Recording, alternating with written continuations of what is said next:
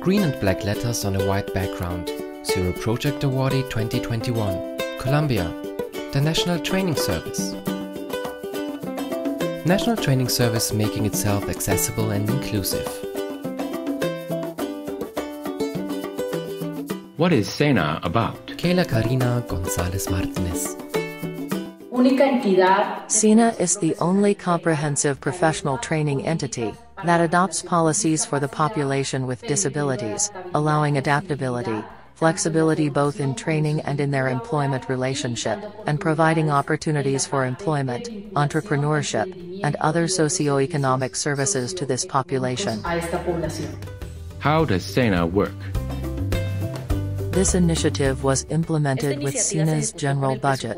It did not require additional or different resources to those of the entity. In addition, the training processes offered by SENA are free and guarantee adequate tools for people with disabilities. What is unique and innovative about SENA? An overall look at inclusion, a special bond with the business sector of the country and accessibility and flexibility in comprehensive vocational training. What is next for SENA?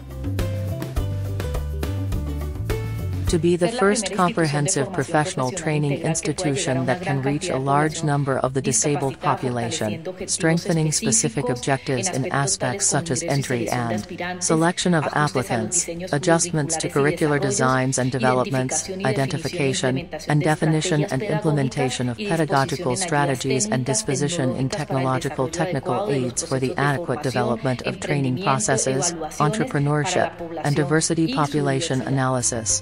How did this solution help you? Oscar Insignares, trainee. Me hace crecer como persona.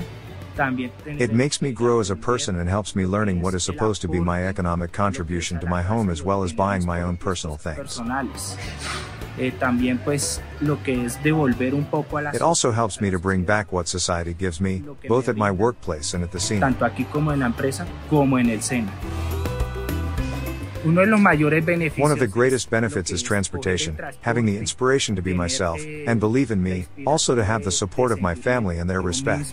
De creer en mí mismo y lo que he venido logrando a nivel familiar es que, que ellos crean y me he eh, tenido el respeto de cada uno de ellos.